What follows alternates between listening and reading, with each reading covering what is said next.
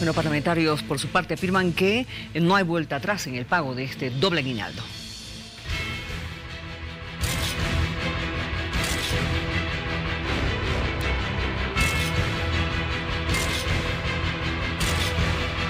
Las diferentes representaciones de la empresa privada desde distintos puntos del país hacen conocer su preocupación y rechazo al pago del doble aguinaldo y aseguran que no está en condiciones de pagar este beneficio. Estamos en la imponibilidad del pago de este segundo aguinaldo, pero es por varias, varias razones y circunstancias eh, y varios motivos. Uno de ellos, que no nos olvidemos, que va directamente direccionado al pequeño y mediano productor. Y en otras es de que no van a poder por lo que les indiqué, les debe al Estado.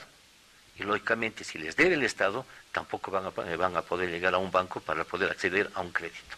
Esto se complica y yo creo que pone a estas empresas, nos pone al, al, borde incluso de la quiebra. Para el diputado Cárdenas, este discurso ya es conocido y se debe de pagar y cumplir con todo lo dispuesto, a ver al parlamentario. Es un discurso reiterativo, absolutamente repetitivo, no hemos visto nosotros, no conocemos una empresa que haya quebrado a causa del doble aguinaldo del 2013, del 2014.